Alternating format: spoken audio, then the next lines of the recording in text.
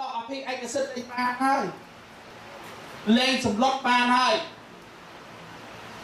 កាលពីមុនគេគិតថាគេធ្វើបានគេសម្លុតបានគេដកអភិឯកសិទ្ធិចាប់ដាក់គុកបានប៉ុន្តែនៅបរំបរំមួយនេះព្រោះអត់ទាន់មានអភិឯកសិទ្ធិបាទរឿងវានៅទៅនឹងបងប្អូនជនជាតិហើយឥឡូវនេះណាយើងបានធ្វើរួចហើយ ខ្ញុំបានចាត់ចែងការងារដោយសារតែយើងមានបទពិសោធន៍គ្រប់គ្រាន់ហើយខ្ញុំបានរុញរឿងអន្តោប្រវេសន៍ថែមទៀតខ្ញុំបានធ្វើលិខិតទៅឧបនាយករដ្ឋមន្ត្រីសខេងហើយគាត់អត់ឆ្លើយតបនឹងលិខិតខ្ញុំវិញប៉ុន្តែគាត់ធ្វើគាត់ចាត់វិធានការឲ្យមន្ត្រីប៉ូលីសដើរជំរឿនហើយជាពិសេសប៉ូលីសខេត្តកណ្ដាលគេឲ្យយួននៅតាមអរិយ នៅទល់មុខវាំងហ្នឹងអរិយស័ក្តិហ្នឹងនៅម្ដុំឆ្មាំពៅហ្នឹងគេឲ្យឡើងពីទឹកហើយបញ្ជូនទៅស្រុកវិញហើយហើយអ្នកខ្លះគេរិះគន់យើងថាយើងធ្វើអញ្ចឹងគឺរើសអើងប្រកាន់ពុជសាសអត់ទេអត់ប្រកាន់ពុជសាសអីទេសូមឲ្យតែអនុវត្តច្បាប់អន្តរប្រវេសន៍តាបងប្អូនមុនមកបានបានមកនៅអាមេរិកនេះ ព្រោះថាយើងរស់នៅស្រុកគេមកដំបូងនឹងគេយើងក៏ពេញលក្ខខណ្ឌអីខ្លះខ្ញុំចង់មកអាមេរិកខ្ញុំសុំអីខ្លះបាទតើមានលិខិតធានាពីខាងទៅស៊ីបាទអត់ខ្ញុំនឹងទៅសុភាគេសួរនាំតាមទៅណាបានគេឲ្យយើងមកយើងអត់យើងអត់ប្រកាន់ពុយសាសទេ ធម្មតាប្រជាជាតិមួយនៅចិត្តប្រជាប្រជាជាតិមួយយើងត្រូវតែគោរពគ្នាទៅវិញទៅមកដោយស្មារភាពប៉ុន្តែមើលមើលប្រជាពលរដ្ឋយើងទៅនៅថៃមើលបាទទៅនៅថៃមើលយើងទៅធ្វើការងារនៅថៃមើលពេលខ្លះគេបញ្ជូនយើងមកវិញដោយដាក់ក្នុងឡានធំគេចាត់ទុកថាដូចឡានដឹកជ្រូកចឹងគេដាក់មក បញ្ជូនពលករយើងមកមកក្នុងស្រុកវិញគេអនុវត្តច្បាប់បន្តប្រវេសគេយើងខឹងទេក៏ខឹងកើតបាទចឹងយើងយើងក៏ត្រូវអនុវត្តហ្នឹងរឿងហ្នឹងដែរព្រោះយួននៅជុំវិញបឹងកលេសាបតាណាក៏មានយួនដែរខ្ញុំហៅខ្ញុំហ្នឹងហើយអ្នកដឹកនាំយុវជនដើរពិនិត្យមើលនៅជុំវិញបឹងកលេសាបហើយខ្ញុំបានធ្វើលិខិតទៅហើយទៅឯកឧត្តមសខេហើយការពីខ្ញុំធ្វើលិខិតទៅអត់តន់ឡើង បរមមងាអីជាសម្ដេចទៅដល់ទេបាទឥឡូវឡើងបរមមងាសម្ដេចឯកលាហោមដល់ពេលបានបរមមងាជាជាសម្ដេចកលាហោមខ្ញុំធ្វើលិខិតមួយទៀតថាខ្ញុំសូមជម្រាបឯកអត់សម្ដេចសូមជម្រាបសម្ដេចខ្ញុំធ្វើលិខិតលើកទី1សម្ដេចមិនឆ្លើយឥឡូវខ្ញុំសូមទៅលិខិតលើកទី2ខ្ញុំយោងរដ្ឋធម្មនុញ្ញប្រការ97អ្នកតម្រាងនេះដាក់ទៅ ឆ្លើយវិញមួយអាទិត្យបើមិនឆ្លើយបានន័យថាមិនគោរពរដ្ឋធម្មនុញ្ញរដ្ឋបហារដ្ឋធម្មនុញ្ញបាទបើឯអាដាមអបបើសម្ដេចបើសម្ដេចមិនឆ្លើយមកខ្ញុំវិញទេលើកនេះខ្ញុំនឹងរកហាត់លេខាអ្នកតំណាងនេះ30នាក់ហៅសម្ដេចមកចូលក្នុងសភាពេញអង្គហើយអូសូមឲ្យអនុវត្តច្បាប់អន្តរប្រវេសន៍ហើយរឿងមួយទៀតដែលខ្ញុំធ្វើ ខ្ញុំបានធ្វើលិខិតមួយទៀតទៅលោកទៅសម្ដេចនាយករដ្ឋមន្ត្រីហ៊ុនសែនថាសូមឲ្យលុបព្រៃសម្បត្តិតាមព្រំដែនទាំងអស់ដែលសម្បត្តិឲ្យយួន99ឆ្នាំមកយាមមកពីមកយាមមកអាមេរិកនេះធ្វើលិខិតកដោជូនសម្ដេចទៅហើយបាទសូមសម្ដេចឆ្លើយតបមកព្រោះមានរឿងគ្រោះថ្នាក់ចំពោះជាតិណាបងប្អូនជនជាតិ ខ្ញុំចុះទៅនៅឃុំជាំកវៀនក្រុមហ៊ុនហ្នឹងក្រុមហ៊ុនខ្មែរឈ្មោះក្រុមហ៊ុនវ៉ាន់ម៉ាគាត់បានសិទ្ធិសម្បទានពីរដ្ឋាភិបាលទៅគាត់ទៅយកដីនៅជាប់ព្រំដែនយួនទៅបងហើយគាត់យកអាដីនេះយកទៅជួលឲ្យយួនមហាតាបអឺ1000 1500បាទ ហើយពេលហ្នឹងប្រជាពលរដ្ឋគាត់គាត់ព្រឹកបារម្ភគាត់បារម្ភជំនួសយើងបាទគាត់មកមកគាត់ខ្ញុំទៅជួបសន្និសនាមួយគាត់គាត់មកដឹងបង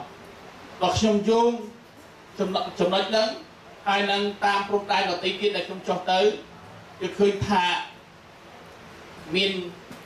ការសម្បទានព្រៃឈើនៅតាមព្រំដែននឹងច្រើនចិត្តខ្ញុំក៏ធ្វើលិខិតទៅបាទ ចឹងខ្ញុំសូមជម្រាបបងប្អូនជនជាតិឥឡូវហ្នឹងមានការដុតកម្ដៅឡើងខ្ពស់ដោយសារតែស្ថានភាពបែបហ្នឹងហើយអឺខ្ញុំខ្ញុំគិតថាខ្ញុំរុញតាមតាមអ្វីដែលខ្ញុំបានស្នើឡើងឥឡូវនេះបើបានផែនទីទៅត្រូវពិនិត្យមើលគណៈកម្មការចម្រុះពិនិត្យមើលបាទបើពិនិត្យមើលទៅឃើញថាការបោះបង្គោលព្រំដែនហ្នឹងវា មិនយកផែនទី1លើ100,000ដែលកល់ទុកអង្គការសហប្រជាជាតិទេវាត្រូវលុបចោលសន្ធិសញ្ញា2005បាទចឹងដោយសារពេលវេលាមានកំណត់ខ្ញុំនឹងដូចជាគោពោះដែរហើយដូចហេវដែរបាទបាទអត់អឺចេញមកពីសានដូសេញ៉ាំអាហារពេលព្រឹកនៅនោះតើមកមក រហូតមកឃើញឃើញលោកនេះសវណ្ណរាគាត់និយាយទៅជាទៅមើលមកដែរគាត់ចាប់5ម្ដងហើយស្រាប់តែគាត់ដំឡើងគេទៅទៀត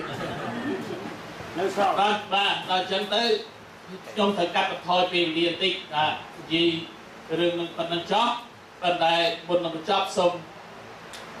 ប្រគិនពោនិងជូនពរដល់បងប្អូនជនជាតិទាំងអស់ឲ្យជួបប្រទះតែនឹងសេចក្តីសុខចម្រើនគ្រប់ប្រការ ប៉ុន្តែទុកឱកាសឲ្យសួរវិញបាទបាទមានការអីឲ្យសួរអីខ្ញុំត្រៀមខ្លួននៅតាមតិចបាទបាយមនីវ៉ាន់ដែលបានអធិប្បាយយ៉ាងក្បោះក្បាយជំរាបជូនដល់អស់លោកដែលជាភ្ញៀវបាទឥឡូវខ្ញុំដឹងថាបងប្អូនឃ្លានអញ្ចឹងឆ្លៀតក្នុងឱកាសនេះខ្ញុំបាទសូមសំពះងអំពាវនាវជាថ្មីម្ដងទៀតថ្ងៃទី19ខែ7នេះគឺលោករៀលខេមរិន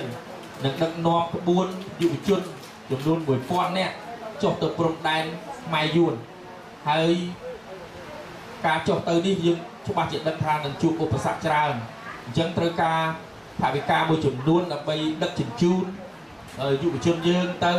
ហើយនឹងទិញជាសម្ភារៈដូចជាទងជ័យបាទទងជ័យនេះលោកចង់បានដល់3 400ទងជ័យដើម្បីឲ្យឃើញថាជាទងជ័យជាតិរបស់ខ្មែរយើងហើយនឹងស្បៀងអាហារដូច្នេះថ្ងៃនេះ ខ្ញុំបានដឹងថាបងប្អូនបានជួយជីវភាពទៀនមួយចំនួនតែខ្ញុំសូមអង្វរម្ដងទៀតសូមឲ្យមេត្តាចែករំលែកបន្ថែមទៀតដើម្បីជួយទៅដល់លោករៀលខេមរិនបន្តិចទៀតបងអូនស្រីស្រីគាត់នឹងចុះទៅសូមបងប្អូនមេត្តាចូលរួមជាវិភាគទានបាទសូមអញ្ជើញបងអូនស្រីស្រីជាវិភាគទានតិចក្តីច្រើនក្តីសូមមេត្តាចូលរួមជួយអឺបន្ថែមទៀតដើម្បីអឺអឺមុនឈានចូលទៅដល់សំណួរចម្លើយ បាទសូមឲ្យបងប្អូនសួរសំណួរកុំដដែលដដែលសូមឲ្យសួរអឺសំណួរឲ្យខ្លីហើយព្រោះពេលវេលាយើងជិតអស់ហើយលោកអឺម៉ៅនីនិងលោកអឺសវណ្ណរានឹងអញ្ជើញទៅ Modesto បន្តទៀតហើយបន្ទាប់មកលោកមីសវណ្ណរានឹងឡើងកប៉ាល់ហោះទៅស្រុកខ្មែរបាទដូច្នេះពេលវេលាយើងខ្លីណាស់បាទខ្លីមែនតើហើយសូមដូច្នេះសូមឲ្យសំណួរចម្លើយនេះសួរឲ្យបានខ្លី សួរឲ្យបានច្រើនសំណួរទៅហើយចាំឆ្លើយតែម្ដងបាទអញ្ចឹងសូមសូមទទួលភារកិច្ចនេះជូនទៅដល់ពិធីករសាជាថ្មីម្ដងទៀតបាទសូមអញ្ជើញបាទសូមជម្រាបបន្ថែមផងដែរលោកមីសវណ្ណរាជានាយកព័ត៌មានបាទតាំងពីឆ្នាំ2013មកគាត់អត់មានប្រាក់ខែប្រចាំខែទេ គាត់មិនមែនជាតំណាងវាទេដូច្នេះថវិកាដែលគាត់ចាយវាដើម្បីបម្រើជាតិគឺគាត់បញ្ជូនទៅថវិកាផ្ទាល់របស់គាត់ដូច្នេះបងប្អូនណាមានបណ្ដោយចេតនាចំណាប់អារម្មណ៍នៃការខ្វះខាតរបស់គាត់សូមបងប្អូនជួយគាត់ផ្ទាល់ក៏បានដែរបាទសូមជួយជួយគាត់ពីព្រោះគាត់មិនមានប្រាក់ខែទេរាល់ខែហើយ ការដែលគាត់ជាប់ពន្ធនាគារ5ខែ2ថ្ងៃនេះគឺថាអឺតាមដែលព្រះរាជគាត់ប្រាប់យកមកដល់គាត់បានផ្សេងថាវិការគាត់ជាច្រើនដើម្បីឲ្យគេសម្រួលជីវិតរបស់គាត់នៅក្នុងពន្ធនាគារនេះអញ្ចឹងដល់ពេលនេះគាត់នៅជាពាក់អឺលុយកាក់របស់គេទៅឡើយទេបាទដូច្នេះបាទសូមសូមបងប្អូនមេចាអធិស្ឋានដោយសារតែ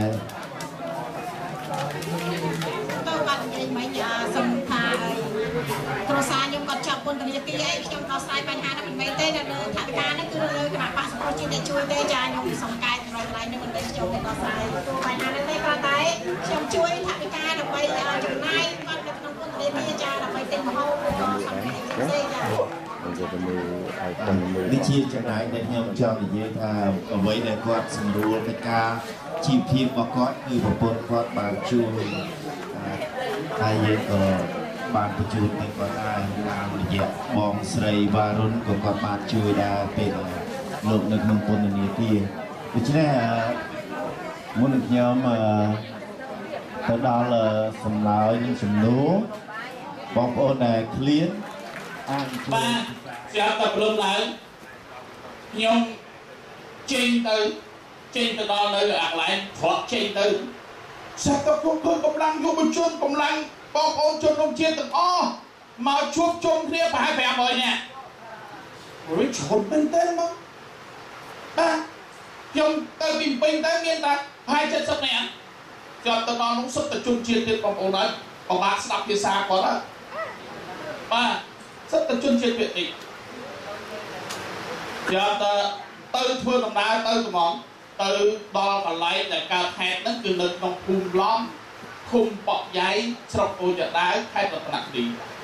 បាទទៅដល់ឃើញអត់កម្លាំងប៉ូលីសខាងយើងប្រហែលជា20នាក់ដែរគាត់ទៅតាមខ្ញុំពីក្រោយបើកម្លាំងប៉ូលីសខាងយើងគាត់ដើរពីក្រោយយើងចាប់តែមើលទៅប៉ូលីសយួនត្រៀបត្រាហ្មងកម្លាំងគេត្រៀបត្រាកាន់កំភ្លើងពេញដៃ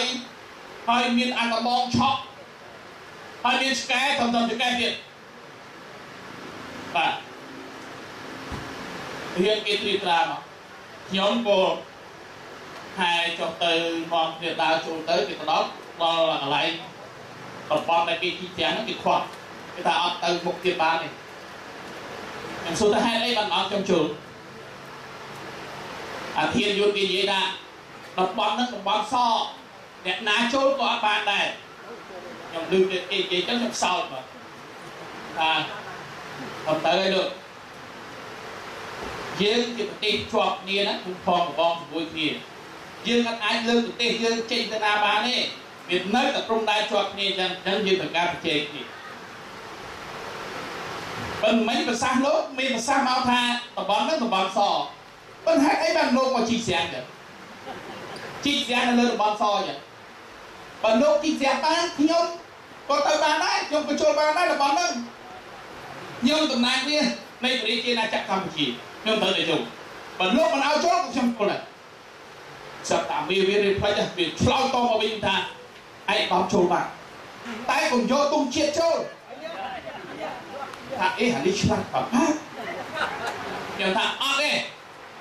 ម៉ៅនេះបានទៅដល់ណាទុំជាតិនៃព្រះរាជាណាចក្រកម្ពុជាលីដល់ឡើងបងប្អូន ខ្ញុំលីទុំជាតិចូលទៅអស់ទៅដល់នោះយើងឃើញអាចដីជីស្រះហ្នឹងថ្មីថ្មីមកបាទ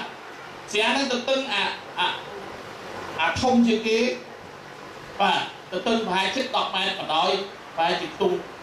7 10ម៉ែត្រទេហើយចុះទៅឌីកបាទបាទបាទខ្ញុំក៏ចុះទៅក្នុងស្រាទៅបាទ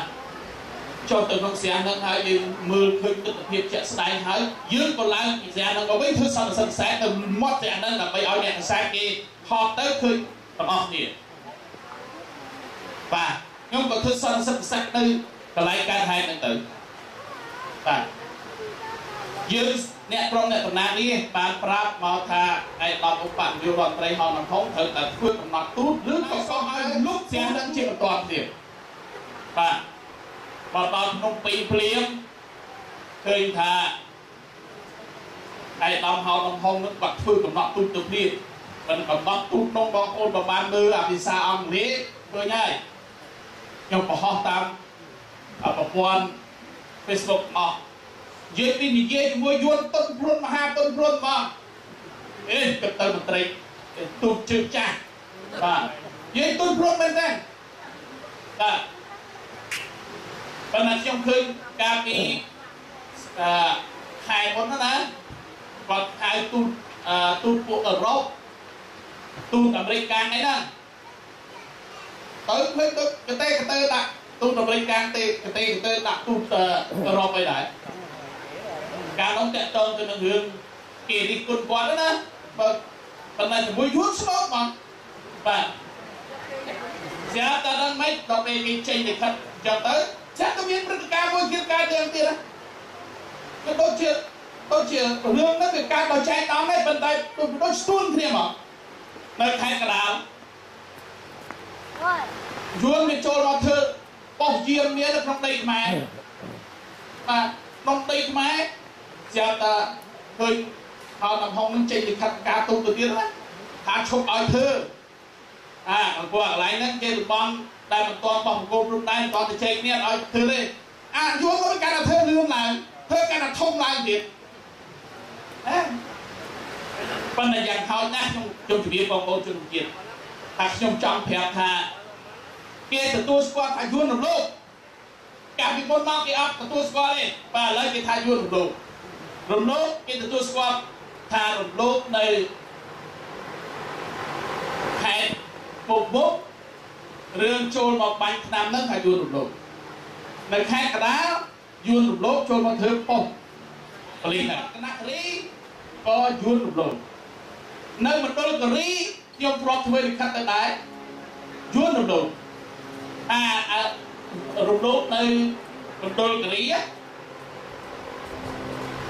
ឈើមែនទេយួនគេប្រកាន់យកអាចចំណុចស្ទឹងដាក់ដាំជាកន្លែងបោះគោប្រដែ តែរដ្ឋាភិបាលហ៊ុនសែនគាត់ថាគាត់អត់កន្លែងហ្នឹងអត់ទេគាត់ទៀមទាយកកន្លែងចំណុចមួយទៀតកន្លែងបោះគោប្រដែបើធៀបពីកន្លែងហ្នឹងមកកន្លែងខាងបានហ្នឹង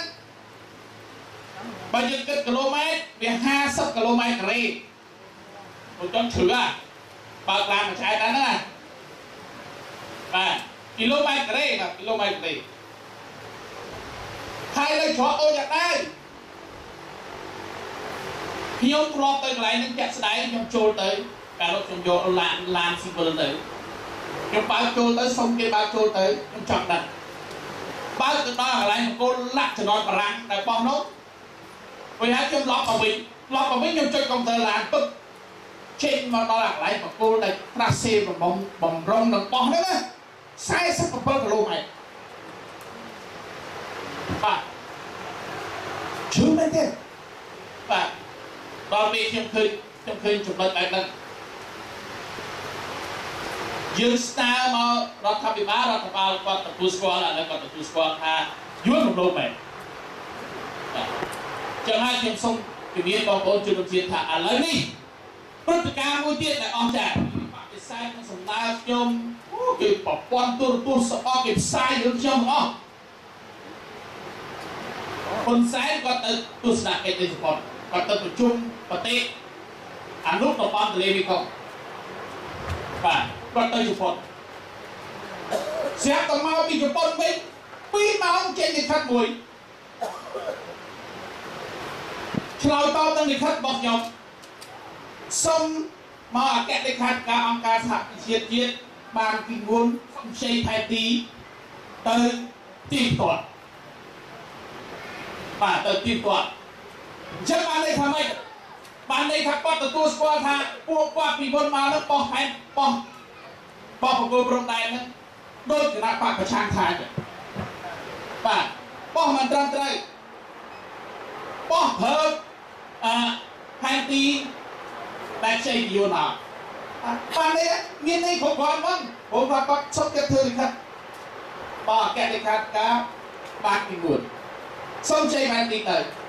បាទយ៉ាងខ្ញុំអត់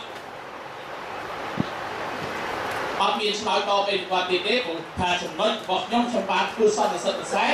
ខ្ញុំបានធ្វើសេចក្តីប្រកាសព័ត៌មានមានច្រើនចំណុចណាអញ្ចឹងហើយខ្ញុំស្នើមកស្នើម្ដងទៀតខ្ញុំស្នើថាបើខ្ចីហេតុទីមកហើយសូមបង្កើតគណៈកម្មការមួយដែលឯករាជ្យ ឥឡូវសូមសមាជិកចេញពីគណៈបកទាំងពីរមកហើយពីសង្គមស៊ីវិលមកហើយពីអ្នកឯកទេសព្រំដែនមកហើយយកមកទៅជែកគ្នាធ្វើការទៅបាទធ្វើការទៅទៀមទាត់ទៅបើទៀមទាត់ទៅឃើញថាអាការបោះប្រគល់ព្រំដែនហ្នឹងប្រើផែនទីរបស់យួនត្រូវតែលុបសិទ្ធិសញ្ញា2005ចេញអាលុបសិទ្ធិសញ្ញានេះ រដ្ឋធម្មនុញ្ញជាអល់បង្ហាញហើយថាតំណាងនេះអាចលុបសិទ្ធិសញ្ញាបានត្រូវការកោះប្រជុំពេញអង្គគ្នាហើយលុបសិទ្ធិសញ្ញានឹងត្រូវការសម្លេង56ទេហើយការ62សម្លេងទេចឹងត្រូវតែកោះប្រជុំសភាជាបន្តមួយបើថាគណៈបកកាន់អំណាចគាត់ទទួលស្គាល់បែបហ្នឹងហើយស្រួលអារំលាយកិច្ចសន្យាអរំលាយសិទ្ធិសញ្ញា2005ស្រួលរំលាយទេបាទ ប៉ុន្តែបើគាត់មិនធ្វើយើងក៏ត្រូវតែធ្វើដែរតំណាងនេះ55នាក់ណាត្រូវស្នើឲ្យប្រជុំសភាពេញអង្គព្រាមអនុម័តលុបព្រាមលុបមិនបានក៏ដោយក៏គឺជាព្រឹត្តិការណ៍ប្រវត្តិសាស្ត្រមួយចំពោះរជ្ជកាលនៃនីតិកាលទី5នៃរដ្ឋសភានេះដែរបងប្អូនជនជាតិព្រឹត្តិការណ៍ជាប្រវត្តិសាស្ត្រមួយ បាទបើលុបមិនបានបើបោះឆ្នោតទៅវាបានតែ55ក៏បញ្ជាក់ថាតំណាងរាជរបស់គណៈបកសង្គ្រោះជាតិបានធ្វើការយ៉ាងផ្ដុកដាច់បំផុតគោរពទៅតាមសម្បត្តិរបស់ខ្លួនការពារបូរណភាពទឹកដីខ្មែរឲ្យបានគង់វង្សថិតទេជាកាលបងប្អូនប៉ុន្តែ2017ចន្លោះពេលហ្នឹងរៀសមើលឃើញច្បាស់ អាណត្តិក្រោយទៅការ8អាសនៈមកទៀតហើយដល់មានចន្ទតាមិនបញ្ជាក់ឲ្យស្រួលស្រួលយកទេអា8ទៀតហ្នឹងពួកអីឥឡូវទៅទីណាក៏ដោយប្រជាប្រដ្ឋយល់ច្បាស់បាទយល់ច្បាស់មែនទេពិសេស8អាសនៈទៀតខ្ញុំថាมันជាបញ្ហាទេព្រោះឥឡូវនេះ កាលពី2013ខ្ញុំអ្នកប្រឡូកនយោបាយតាំងពីឆ្នាំ93មកដើរមែនតែនទៅភូមិសាស្ត្រនៅស្រុកខ្មែរខ្ញុំសឹងតែស្គាល់គ្រប់ភូមិមកហើយលើកលែងតែភូមិទេខ្ញុំដើរមិនទាន់គ្រប់ភូមិបាទបើបើឃុំសឹងតែសឹងតែសុខសាច់បាទចុះខ្ញុំដឹងទាំងអស់ ដឹងទឹកចិត្តប្រជាប្រដ្ឋចឹងមិនពិបាកទេបងប្អូនជនជាតិចឹងខ្ញុំចង់បញ្ជាក់វិញថាឥឡូវនេះណាកោចបយើងបានធ្វើរួចហើយបញ្ចូលក្នុងស្ថាប័នធម្មនុញ្ញបាទបញ្ចូលក្នុងស្ថាប័នធម្មនុញ្ញគឺយើងបានធ្វើរួចហើយសមាជិកភាព441តែឥឡូវយើងឃើញថាជប៉ុនជប៉ុនចាប់ដើមបញ្ជូនអ្នកបច្ចេកទេសមកហើយដើម្បីធ្វើបញ្ជីបោះឆ្នោតថ្មី ហើយសហគមន៍អឺរ៉ុបឲ្យលុយរួចហើយ10លានយូរ៉ូដើម្បីធ្វើរឿងនេះអញ្ចឹងយើងមានអំណោយផលល្អណាស់ប៉ុន្តែកត្តាស្លាប់រស់របស់យើងគឺកត្តាសាមគ្គីភាពប៉ុន្តែខ្ញុំមានជំនឿលើកម្លាំងអ្នកស្នេហាជាតិមានបទពិសោធន៍នយោបាយពេញខ្លួនអស់ហើយធ្លាប់មាន ហៅថាការឈឺចាប់ច្រើនចំនួនមកហើយរឿងនយោបាយយុទ្ធសាស្ត្រគេដដែលដដែលទៀតបបែកបបាក់ដើម្បីគ្រប់គ្រងនៅពេលនេះជាពេលមួយដែលតម្រូវឲ្យខ្មែរមិនអាចងាកចេញពីគ្នាបានទេអ្នកស្នេហាជាតិទាំងអស់ត្រូវតែរួមរួមគ្នា ដើម្បីយកជោគជ័យនៅពេលអនាគតខាងមុខមុខដ៏ខ្លីខាងមុខនេះខ្ញុំជំរាបថាការងាររបស់អ្នកតំណាងរាស្ត្រទាំង55ឥឡូវនេះយើងធ្វើបានពេញទំហឹង